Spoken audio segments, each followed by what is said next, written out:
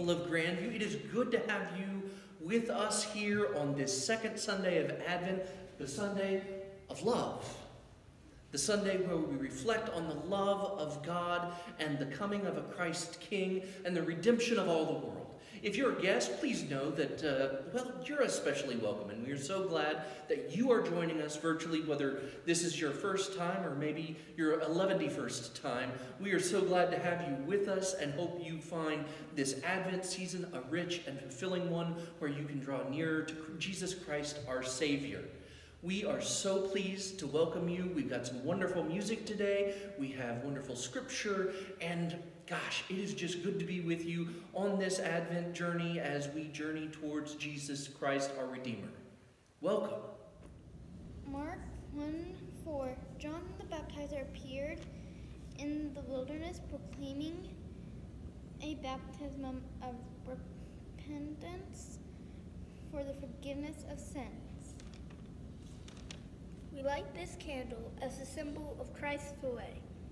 May the word sent from God through the prophets lead us to the way of salvation. O come, O come, Emmanuel.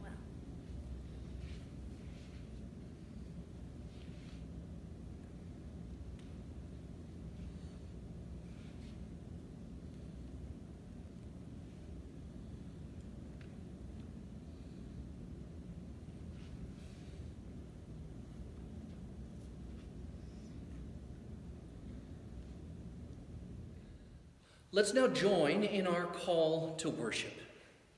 So he came and proclaimed peace to you who were far off, and peace to those who were near. For through him, all of us have access in one spirit to the Father. Amen. My friends, if you turn now, uh, we will observe our opening prayer. O merciful God, you sent your messengers, the prophets, to preach repentance and prepare the way for our salvation. Give us grace, grace to heed their warnings and forsake our sins, that we may greet with joy the coming of Jesus Christ, our Redeemer, the one who lives and reigns with you and the Holy Spirit, one God, now and forever. Amen.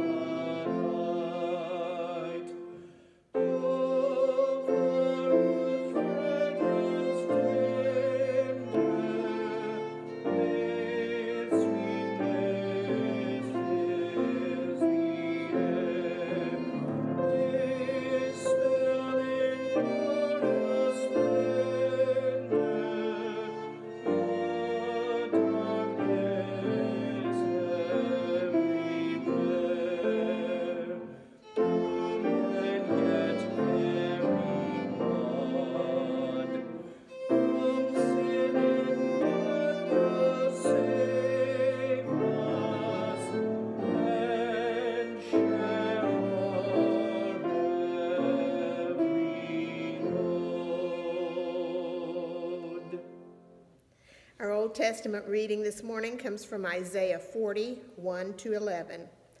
Comfort, O comfort my people, says your God.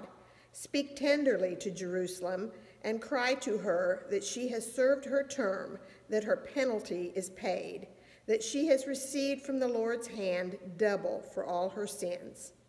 A voice cries out, In the wilderness, prepare the way of the Lord Make straight in the desert a highway for our God. Every valley shall be lifted up, and every mountain and hill be made low. The uneven ground shall become level, and the rough places a plain. Then the glory of the Lord shall be revealed, and all people shall see it together. For the mouth of the Lord has spoken. A voice says, Cry out. And I said, What shall I cry? All people are grass. Their constancy is like the flower of the field. The grass withers, the flower fades. When the breath of the Lord blows upon it, surely the people are grass. The grass withers, the flower fades, but the word of our God will stand forever. Get you up to a high mountain, O Zion, herald of good tidings.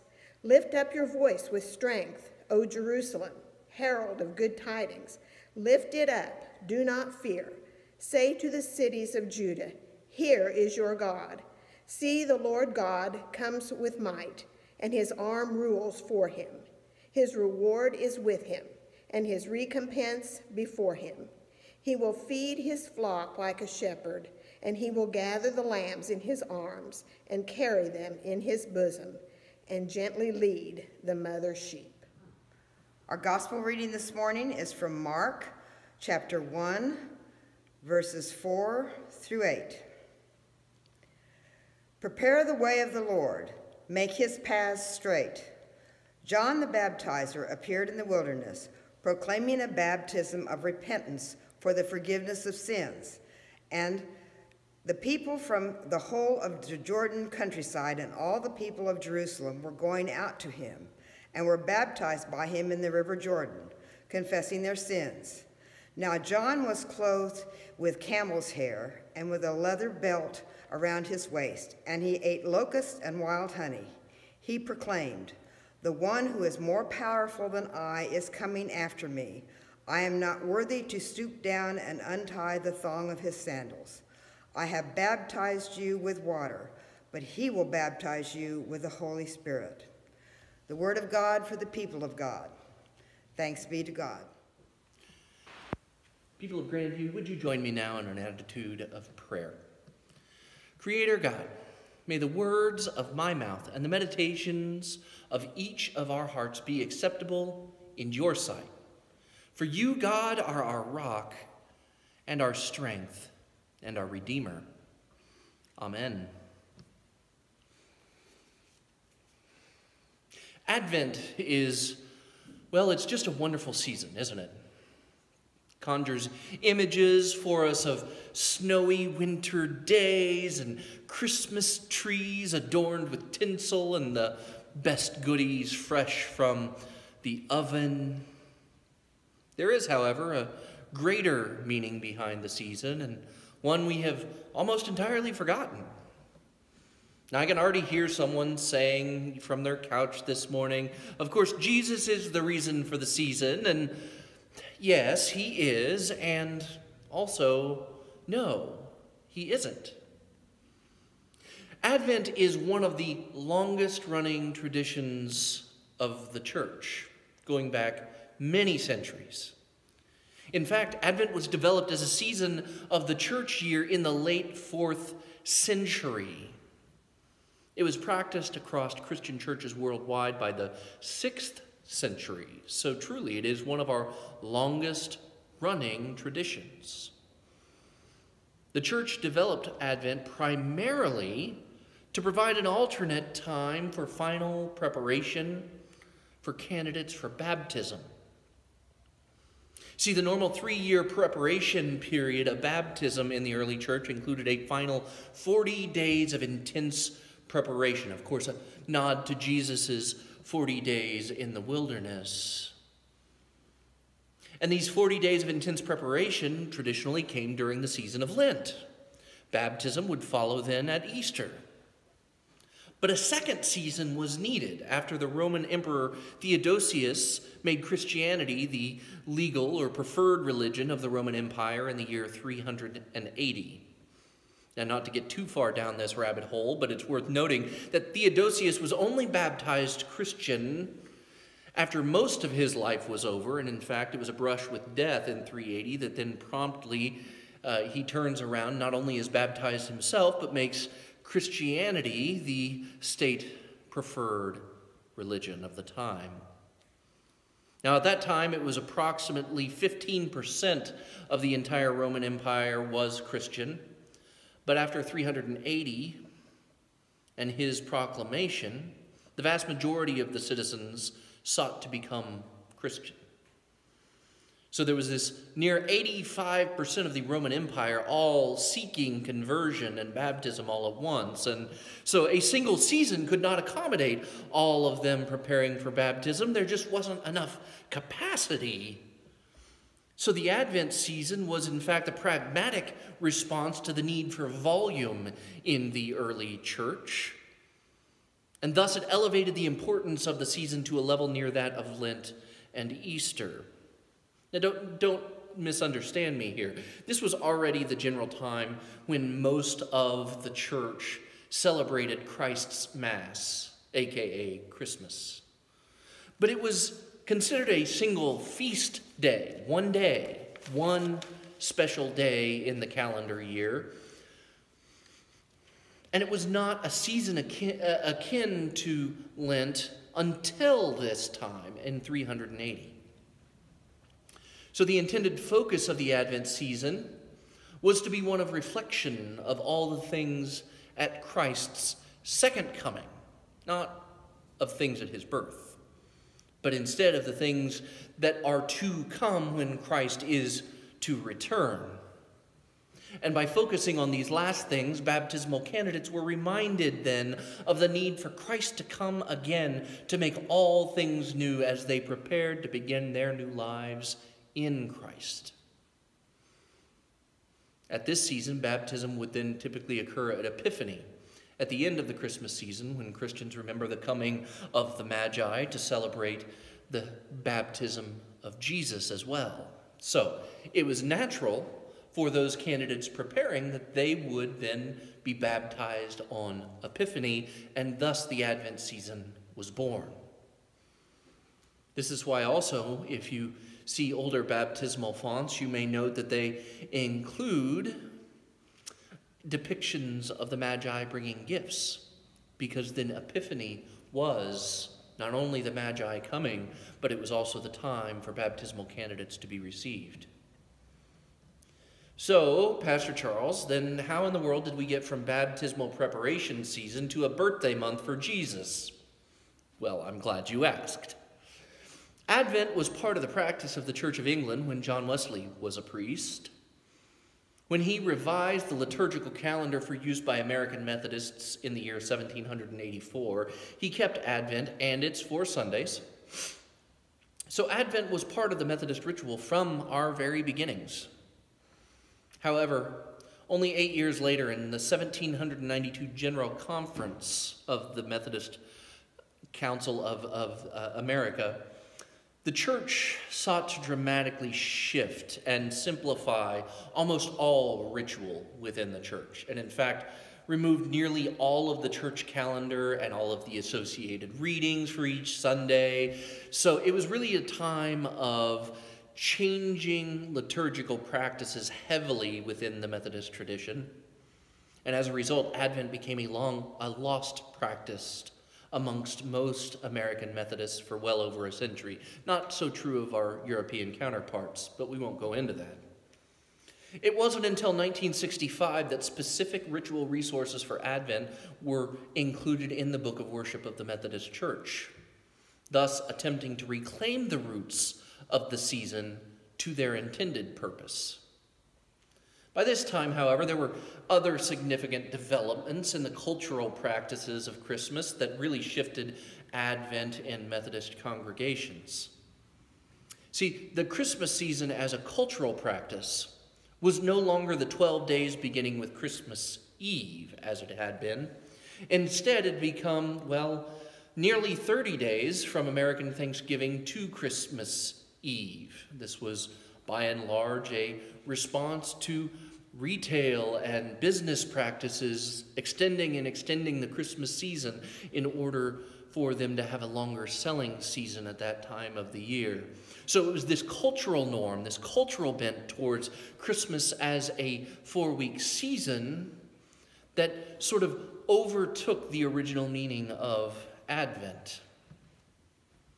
And that meant that even though the 1965 Book of Worship did include readings and prayers focused on the second coming of Christ, many congregations expected Advent to conform to the cultural Christmas focus on the birth of Jesus.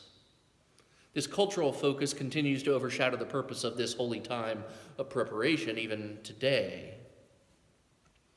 So the question then becomes how can we reclaim Advent and hold faithful to the season? Well, I think we can do so by doing what the early Christians did. Now, it's, it's obvious that there is no in mass conversion that requires us to have a second season of baptismal preparation. No, that's not where we are today.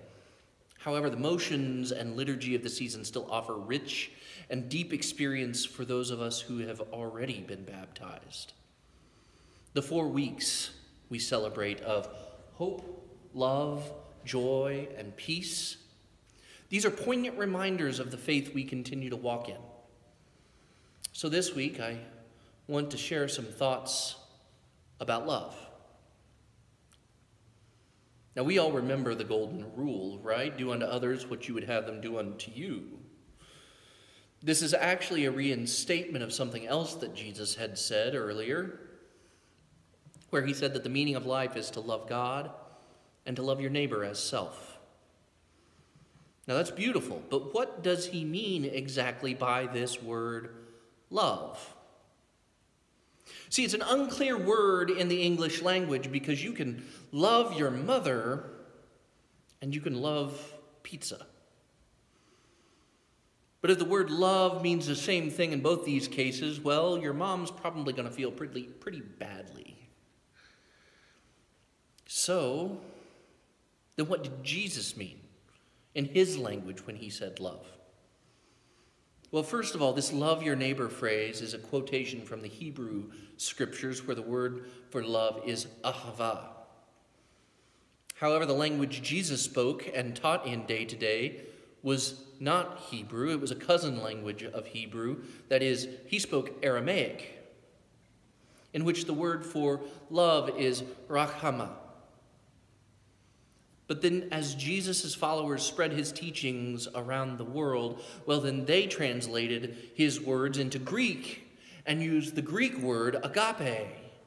Now, we've probably heard of that one.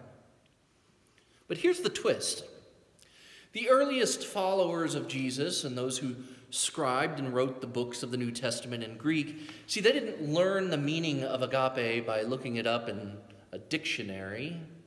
No, rather, they, they looked to the teachings of Jesus and the story of his life to redefine their very concept of love.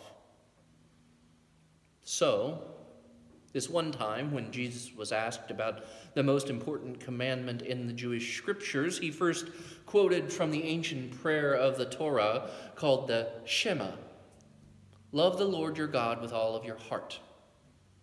So, Love for God is the most important thing. But then Jesus, without even taking a breath, quickly follows up by saying another commandment from the Torah, which was the most important to love your neighbor as yourself. So, which is the more, most important then? Jesus, loving God, or loving your neighbor?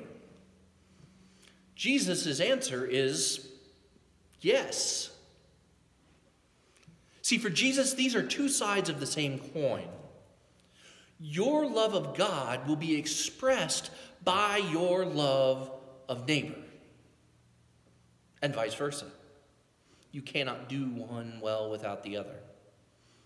So it makes it clear that for Jesus, agape love is not primarily a feeling, for someone else that happens to you, like our phrase in English where I say, I fell in love. For Jesus, love is an action. It's a choice that you make to seek the well being of people other than self. Not the well being of me, but the well being of others. Jesus also went on to teach that genuine love for God and others means seeking people's well being without expecting anything in return especially from people who are in difficult situations who have no possibility of repaying you, even if they wanted to. According to Jesus, this kind of generous love reflects the very heartbeat of God. But he took this idea and went even further, didn't he? Jesus said that the ultimate standard of authentic love is how well you treat the person you can't stand. Or in his words, you shall love your enemy and do good to them, expecting nothing in return. For Jesus, this kind of enemy embracing love imitates the very character of God Himself. But here's the thing these are all really, really nice words and good platitudes. And if Jesus had only said them, well, I doubt that some 2,000 years later he would still be relevant in our lives. But the truth is, that's how he actually lived. Much easier to say, love our enemy, than to actually put that into action. Jesus was constantly helping and serving people around him in very practical and very tangible ways. And he constantly moved towards poor and hurting people who could not benefit him in return. He showed love for the forgotten ones, the ones who fell through the cracks. When Jesus eventually did march into the city of Jerusalem, he made himself an enemy of the leaders of his people by accusing them of hypocrisy and corruption. But then instead of attacking his enemies to overthrow them or seeking out political power so he could overtake them, he allowed them to kill him. And I want to say that again. He allowed them to kill him. He had a choice. They wouldn't have done it had he not been willing. Jesus died for the selfishness and corruption of his enemies. Why? Because he loved them.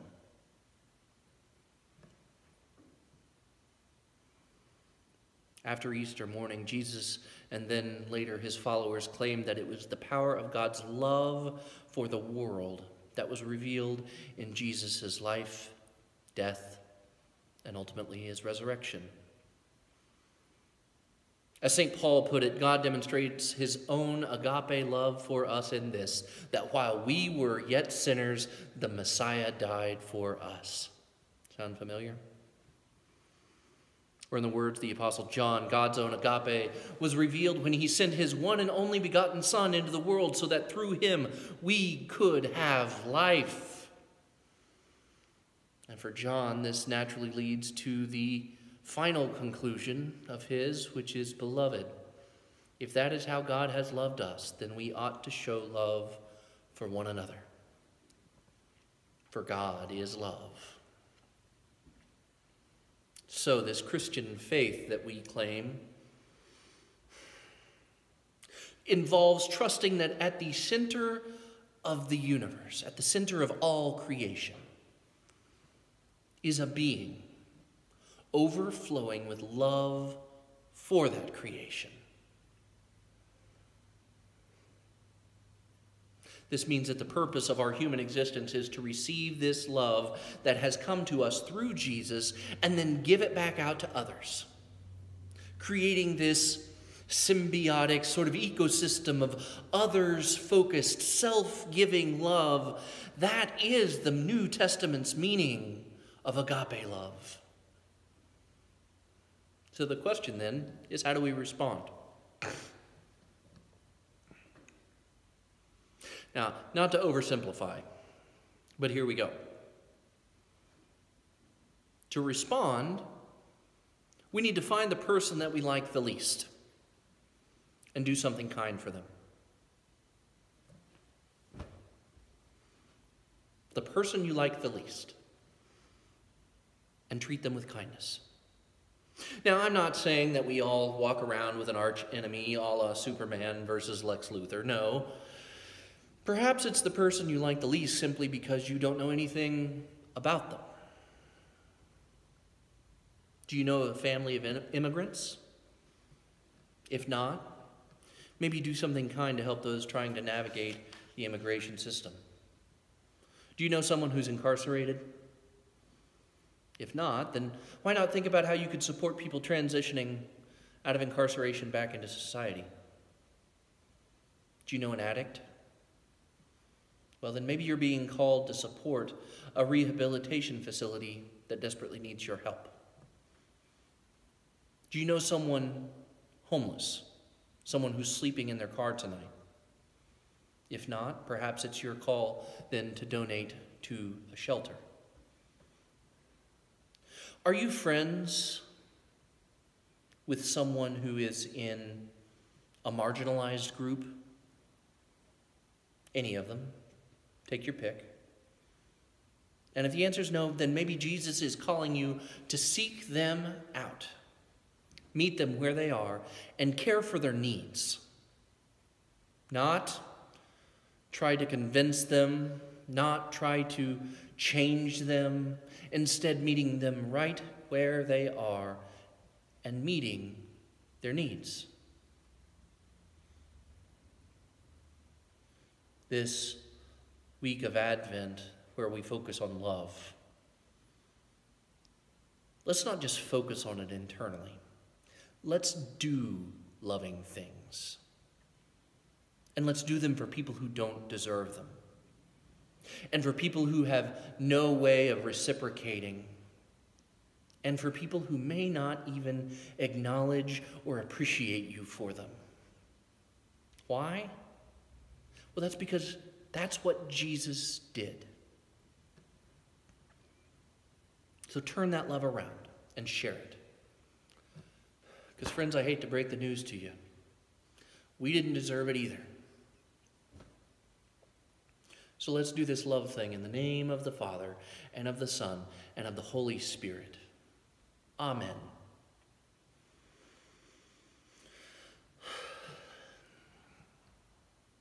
Grandview, it is, as we typically do at this time, we turn to recognize that, well, we have not turned this love thing around like we ought to, and so we join in our common confession.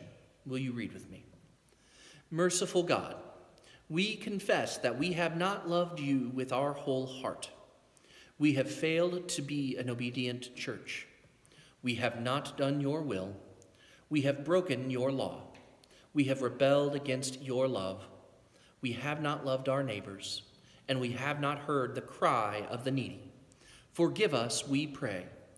Free us for joyful obedience through Jesus Christ our Lord. Amen people of Grandview hear this amazing news.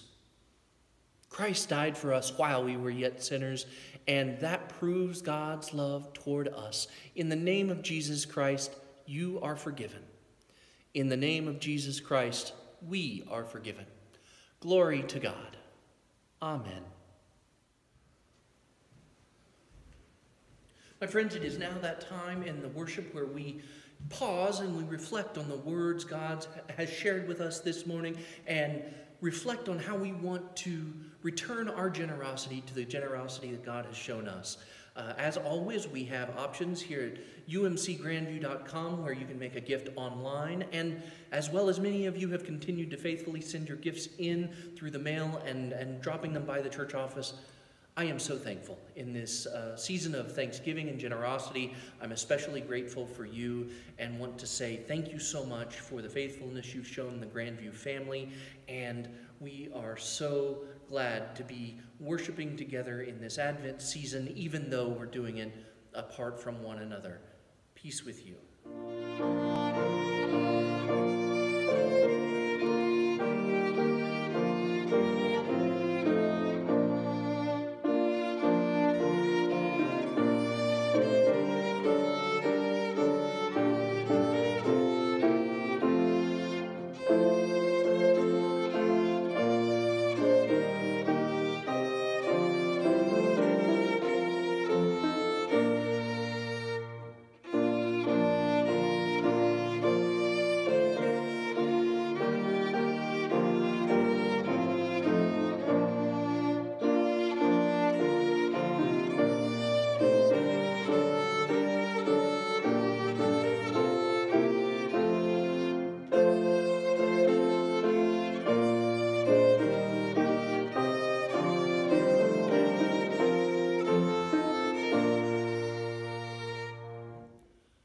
My friends, it is the first Sunday of the month, and that means it is our tradition here at Grandview that this is the Sunday where we celebrate Holy Communion, the great Thanksgiving. And this one is especially unique because this week is our communion during the Advent season, and so there's a special liturgy written just for this. And so, as we begin, I just want to remind you that this table is not the table of me or the table of Grandview United Methodist or even the table of the United Methodist Church. We believe that this table belongs to Jesus Christ. And if you are joining us this morning and you want to be closer to Jesus today than you were yesterday, then this table has been prepared for you. And so, whatever elements you might have at home, they may be simple, it could be bread and water or anything, juice, crackers, donuts, anything that you have we'll be joining in this great Thanksgiving together, and the epiclesis I will offer will be for your elements there at home as you have them also. So please feel free to gather them now. Pause if you need to. Gather some elements for communion and join us in the great Thanksgiving. The Lord be with you and also with you. Lift up your hearts. We lift them up to the Lord. Let us give thanks to the Lord our God. It is right to give our thanks and praise. It is right and a good and joyful thing, always and everywhere to give thanks to you, Almighty God, creator of heaven and earth. You formed us in your image and breathed into us the breath of life. When we turned away and our love failed, your love remained steadfast. You delivered us from captivity, made covenant to be our sovereign God, and spoke to us through your prophets who looked for that day when justice shall roll down like waters and righteousness like an ever-flowing stream, when the nation shall not lift up sword against nation, neither shall they learn war anymore. And so, with your people on earth and all the company of heaven, we praise your name and join in their unending hymn, saying, Holy, holy, holy Lord, God of power and might. Heaven and earth are full of your glory. Hosanna in the highest. Blessed is he who comes in the name of the Lord. Hosanna in the highest. Holy are you, and blessed is your Son, Jesus Christ, whom you sent in the fullness of time to be light to all the nations. You scattered the proud in the imagination of their hearts and the mercy on those who fear you from generation to generation. You put down the mighty from their thrones and exalt those of low degree. You fill the hungry with good things. The rich you send away empty. Your own son came among us as a servant to be Emmanuel. Your presence with us, God. He humbled himself in obedience to your will and freely accepted death on a cross. By the baptism of his suffering, death, and resurrection, you gave birth to your church, delivered us from slavery to sin and to death, and made with us a new covenant by water and the Spirit. On the night which he gave himself up for us, Jesus took bread gave thanks to you, God, broke the bread, gave it to his disciples, and said, Take, eat. This is my body, which is broken for you. Do this in remembrance of me. When the supper was over, he took the cup, gave it, gave thanks to you, gave it to his disciples, and said, Drink from this, all of you. This is my blood of the new covenant poured out for you and for many for the forgiveness of sins. Do this as often as you drink it in remembrance of me. And so, in remembrance of these your mighty acts in Jesus Christ, we offer ourselves in praise and thanksgiving as a holy and living sacrifice, in union with Christ's offering for us as we proclaim the mystery of faith. Christ has died, Christ is risen, Christ will come again. Pour out your Holy Spirit on us gathered here and at home virtually, and on these gifts of bread and wine. Make them be for us the body and blood of Christ, that we may be for the world the body of Christ, redeemed by his blood. By your Spirit, God, make us one with Christ, one with each other, and one in ministry to all the world until Christ comes again in final victory and we feast at his heavenly banquet. Through your Son, Jesus Christ, with the Holy Spirit, and in your holy church, all honor and glory is yours, Almighty God, now and forever. Amen. My friends, the body of Christ broken for you.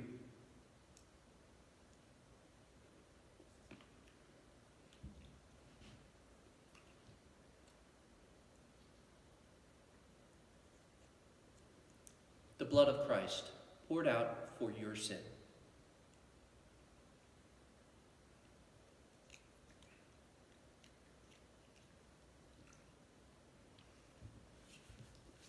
Thanks be to God. Amen. Friends, as we prepare to turn to God in prayer, I just want to remind you that um, I appreciate those of you reaching out and, and letting us know what's going on with you. Um, just want to say uh, first that we want to say a special prayer for Debbie this week um, as she is encountering illness and I believe some procedures coming up. And so we want to lift uh, we want to lift them in prayer and just be faithful to um, however we can serve them and be with them during this time. Uh, I know there are other concerns and, and joys out there, and um, I don't want to look over any, but um, as we go to God, let's just focus our hearts and focus our minds on the love that we have in Jesus Christ. Would you join me in prayer?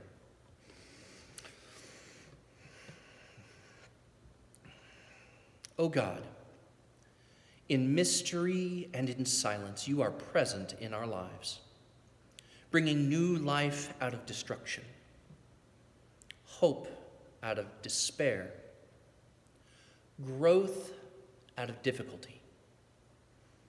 We thank you that you do not leave us alone, but labor to make us whole Help us to perceive your unseen hand in the unfolding of our lives and attend to the gentle guidance of your Spirit, that we may know the joy you give your people through your Son, Jesus Christ, who taught us how to pray by saying, Our Father, who art in heaven, hallowed be thy name. Thy kingdom come, thy will be done on earth as it is in heaven. Give us this day our daily bread, and forgive us our trespasses, as we forgive those who trespass against us. And lead us not into temptation, but deliver us from evil. For thine is the kingdom, and the power, and the glory forever. Amen. Hear now these words of closing benediction. Tell the timid to take heart. The Lord our God will come. Amen.